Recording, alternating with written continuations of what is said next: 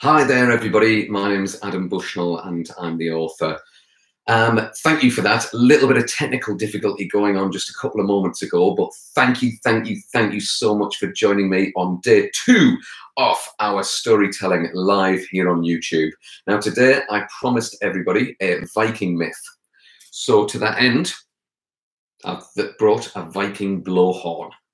Vikings, as we know, did not wear horns on their helmets. They used horns for lots of different reasons. They used horns um, for drinking cups. They used horns that they boiled in water and then made little windows and lanterns out of them. They used combs um, made out of bone for their hair. They made bowls and little chess pieces and tools. But this is a Viking blowhorn. The sound comes out of that end you blow into that end there. And what you have to do is imagine that you've got a seed or a pip inside your mouth and you're spitting it out, like when you're eating watermelon or something like that. So it kind of goes, that's the noise that we're aiming for. Would you like to hear it? I'm taking that as a yes. Okay, have a listen to this.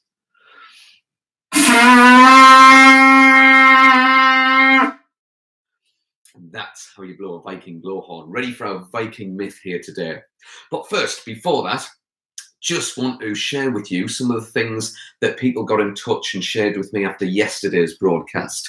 I've got here um, on this clipboard, I've got some shout outs for later on, but before that, I've also got some um, ideas that people shared with me about dragons.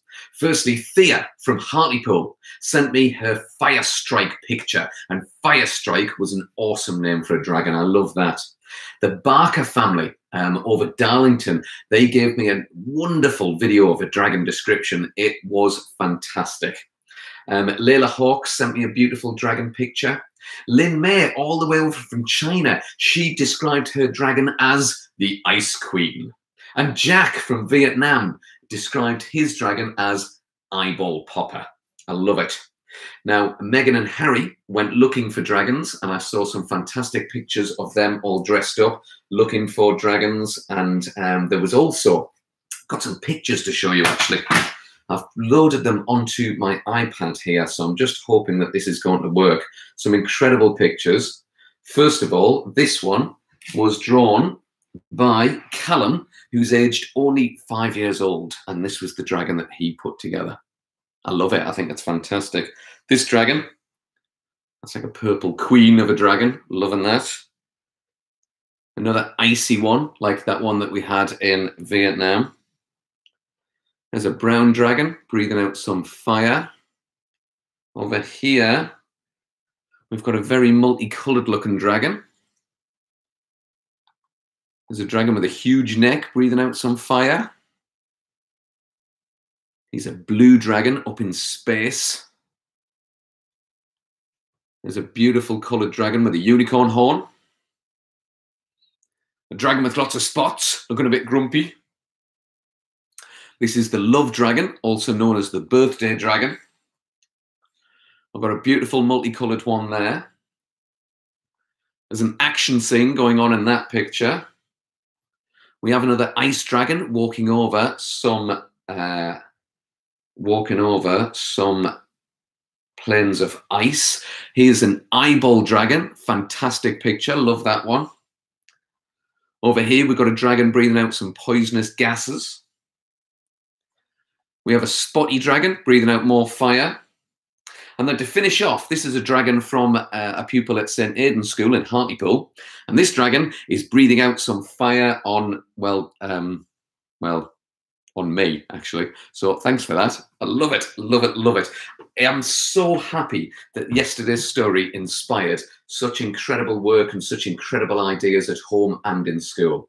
So thank you very, very much for tuning in for day two of our storytelling. I'll have to work a dragon in here somewhere after the overwhelming response from yesterday. But this story today, this Viking myth, this is all about a boy called Askeladd. Now, Askeladd, in I think it's Norwegian, it means the ashlad, the boy who sits by the fire. And it's a little bit like if it was a story from England, if we might tell a story about Jack, like Jack and the Beanstalk, Jack the Giant Killer. There's lots and lots of Jack stories, and Jack was a Victorian, generic sort of a character where he was a bit of a Jack the lad. That's where that expression comes from. He's a bit of a lazy boy who just likes to sit around and not do much. And Askeladd was the same, the ash lad, the one who sits by the fire. Now, Askeladd was sitting by the fire and he had a stick and he was prodding the fire and moving the bits of ash and the little bits of crumbling coal from one side to another when his dad came up behind him and his dad said, Askeladd, you're such a lazy boy. All you want to do is sit by the fire and do not a lot. Tell you what I'd like you to do. Here is my knife. I'm going to give it to you. And I would like you to take that knife and go off into the world and don't come back until you are a man. And Askeladd said, Yeah, right. So he took the knife and he wandered off outside and he wandered away. And as he came to a valley between the two hills, he saw a Viking dragon known as a Wyrm. And this Wyrm saw Askeladd approaching. It turned its great horned head towards him. Askeladd turned to walk in the other direction, but the Wyrm shouted out, Oi, you! Askeladd looked around and said, Me? The, the Wyrm, the dragon, said, Yeah, you, come here, I want to talk to you. So Askeladd walked over. His hands were shaking. His knees were knocking. A little bit of wee came out. No, no, that's actually just his hands were shaking, his knees were knocking. He walked up to this Wyrm, and as he stood there, the Wyrm looked back and said, Couldn't help noticing that you were holding a knife while my friends and I we have here a dead horse, and we were hoping to share it out between the three of us, but we keep on arguing with each other over which bit of the horse each of us should have. Now Askeladd looked, and he saw that the Wyrm was with an eagle and a tiny beetle. So he looked at the dead horse, he looked at the Wyrm, the eagle, and the beetle, and he had a little think. And he said, Yeah, I think I can help you out. I'll use my dad's knife and chop up the horse and share it out between the three of you. So Askeladd went over. This bit's a bit gruesome. He cut off the horse's head. He cut off the horse's legs. And then he stepped back and he said, For the beetle, you get the head because you'll be able to climb all around in and out and inside of it. And I think you like doing that. For the eagle, you get the horse's legs because you're the most noble of the animals and you get the best bits. And for the Wyrm, you get the body because you're the biggest and strongest of us all. Away you go. And so the three animals began to eat. And when the bones were picked clean and there was nothing left of their meal, they turned and they looked at Askeladd.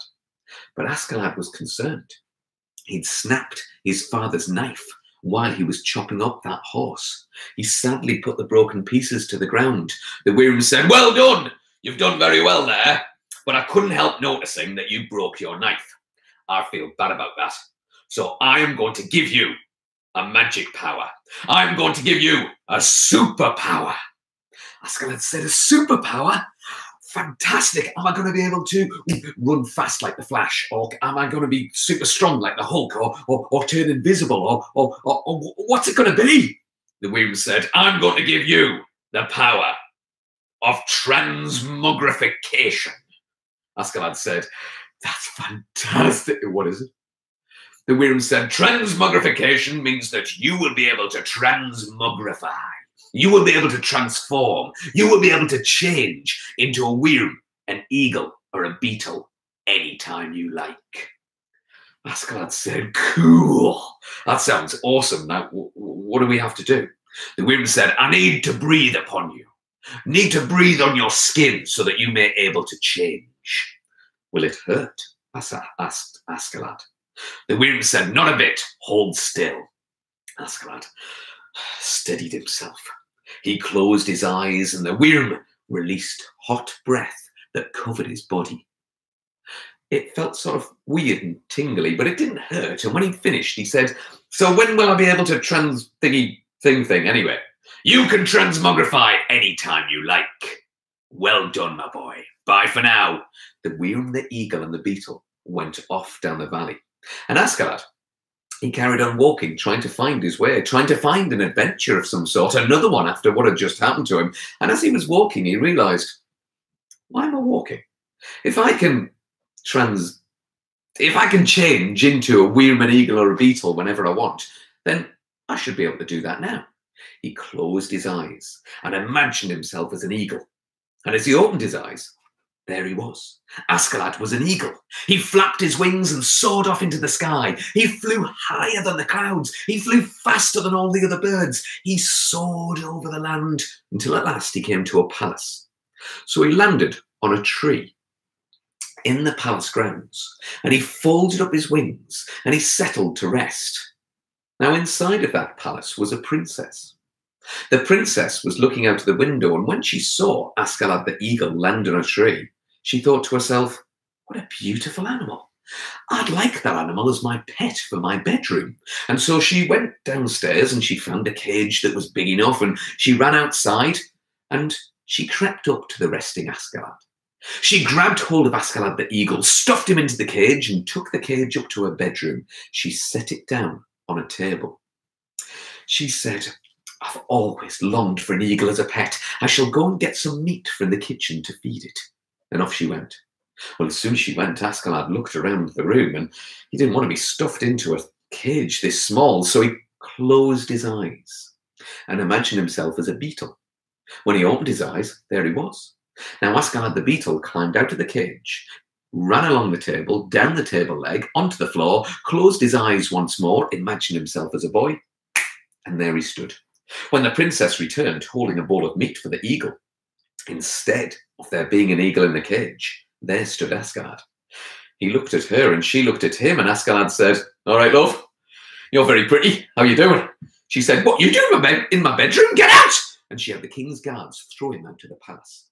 But while Askeladd was being thrown beyond the gates of the palace, there was a loud booming sound. A booming sound that drew closer and closer and closer still. Askeladd looked to see a giant striding across the land. The giant kicked at the palace gates, which flew open. The giant strode across the palace gardens. The guards all attacked, but he just swiped them all to one side, swatting them away as if they were flies. And then the giant walked straight over to the princess's bedroom. He made a fist and began to punch a hole through the wall of that palace. And then when the hole was big enough, he reached inside and grabbed hold of that princess. He then began to boom across the landscape once more, thundering away. Well, the guards were all chasing after him, but what were left of them were just swatted to one side once more. The giant's footsteps were so huge that nobody could keep up anyway.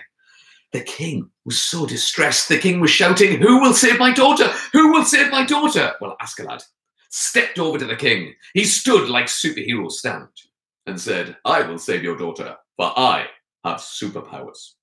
Askeladd then closed his eyes and imagined himself as an eagle. When he opened his eyes, there he was. So Askeladd the eagle flew off into the sky. He raced after that giant, and just in time, the giant had made it over to a mountain range and had stepped inside a huge cave. The giant was rolling a great boulder over to the entrance of the cave to stop anybody from following, following him inside. Askeladd the eagle landed on the ground just at the right time. He saw the giant had left a tiny gap. So Askeladd the eagle closed his eyes and imagined himself as a beetle. When he opened his eyes, he was tiny, and he could creep and crawl through that gap. Once inside the cave, he saw the giant had built a fire and had hooked a cauldron above the fire. The princess was about to be put into boiling water. She was going to be boiled alive. So Askeladd the beetle closed his eyes, and he imagined himself as a wyrm, as a legless dragon. And when he opened his eyes, there he was, Askeladd the wyrm, attacked the giant. The giant whirled around and began to punch and began to kick and began to headbutt. But Askeladd wove his way through those mighty blows. He sank his teeth into the giant, and the giant fell down dead. Blech.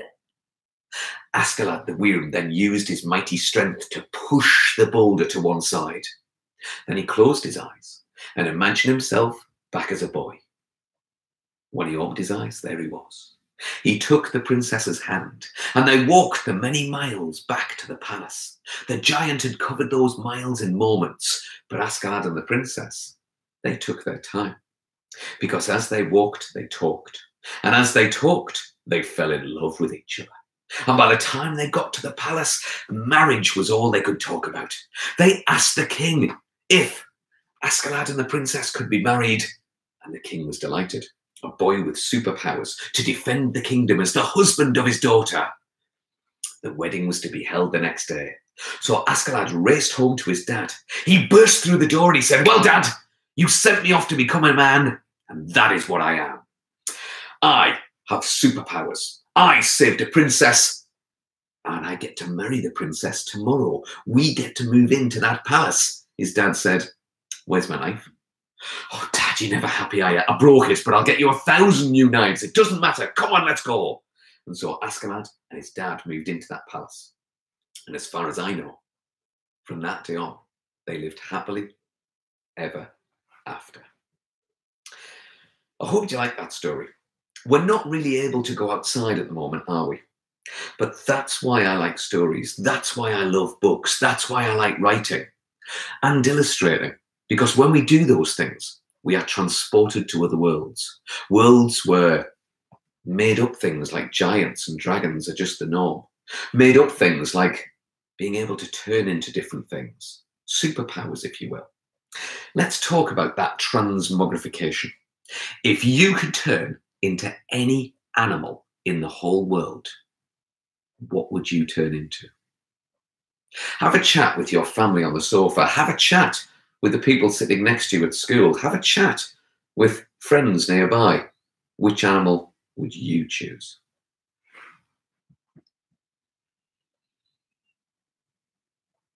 But then there's a thing that authors do, which is called showing and not telling. Now, I was telling that story, and there's a difference between telling and describing. When I'm telling a story, there's not much description in it. When I'm writing a book where I want the reader to feel that they're really there, that's when I slow things down and I describe by showing certain things. For example, if I wanted you as a reader to guess what Askeladd was turning into, I might have described each different body part and how it changed. First of all, his ears began to fall off. After that, his eyes became yellow. Next, his nose stretched into a beak. After that, he began to grow feathers all over his body. Finally, he had become an eagle, that's right. Or if he was turning into the beetle, I might have said, starting with the facial features again. First of all, his hair began to fall out. Next, his ears tumbled to the floor. After that, his eyes became round, black, and shiny. His mouth began to grow into a sort of mandible. His body began to shrink super small. His arms and his legs multiplied into six. Finally, he started to creep and crawl. He was the beetle, that's right. But you don't have to choose a Wyrm, an eagle, or a beetle. What animal would you turn into? And then perhaps an activity that you could do after this story is that you maybe share ideas with your family. Describe how you turn into an animal. Describe what happens to your eyes, to your nose, to your mouth, to your ears. How do they change? Do they get bigger? Do they get smaller? Do they fall off? Are you now covered in stripes or spots or feathers or scales? Are you covered in fur and what colour is the fur? Describe it to each other and see if you can guess each other's animals, which could be an activity that you do, as I mentioned later on today. I loved the activities that you did yesterday. I loved what you did with the dragons. So send me your animal transformation descriptions. Send me your pictures of you turning into an animal. When you become that animal, what are you going to do? As a monkey, are you going to start flinging yourself around your, your house looking for bananas? As a tiger, how are the people in your street going to react when they see from their windows you walking down the street as a tiger? What will happen in your house when you become that animal? What about the people in your family? What are they going to turn into, and what's going to happen with this animal menagerie in your house? That could be something that we make up stories about today. Now, I have a great number of shout outs here.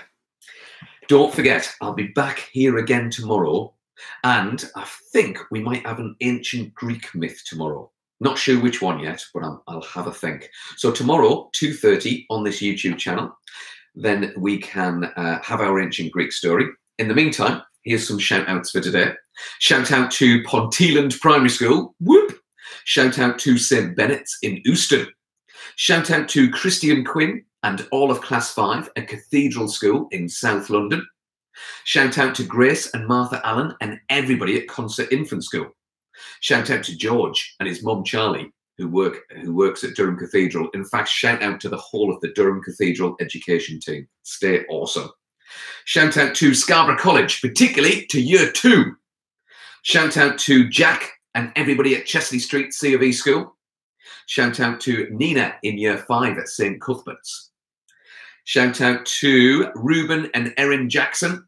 Hi there, guys. Shout out to Woodley Primary School. Hello to you. Shout out to Sebastian Lewis in Stockton. Stay awesome. Shout out to Framwellgate Moor Primary School, just down the road from me. Hi there, guys. Shout out to Jacob from Leeds. How are you doing, buddy? Shout out, shout out to Jake Roch- Rochester from Washington. Hello to you. Shout out to Alfie from Langley Park. Shout out to Megan and Harry. Royalty. Shout out now to royalty. That's fantastic. Shouting out to Layla and all of year four from St. Joseph's in Stanley. And finally, shout out to everybody at Easington Colliery Primary School. So, hello to all of you. If I haven't given you a shout out, it's because the messages that appear live all disappeared. You might have to put a comment on this video once it's been uploaded in about 10 minutes' time. And then I'll make sure I'll go through those comments and I'll do plenty of shout outs tomorrow. But also ask your families to get in touch with me on Twitter, on Instagram, down as Author Adam. I can do shout outs there on Facebook as Adam Bushnell. Just get in touch, share your work with me, share um, your ideas for your stories, and I'll definitely get that shouted out. In the meantime, I just need you to stay positive, stay safe, and stay indoors. And that's why I'm taking you on this magical storytelling journey because we're not going anywhere for a while, so we might as well make it as enjoyable as we possibly can. Um, fantastic to see you all again today. Thank you so much for tuning in. You can watch this video as many times as you want afterwards. So if you want to go through those different processes of transmogrification, then this video will be uploaded and you'll be able to go through it and share it with your family, tell your friends. Let's get this video out to as many people as we can. Join me again tomorrow and don't forget to subscribe. Okay, everybody. Bye for now. See you tomorrow. See you tomorrow. See you tomorrow.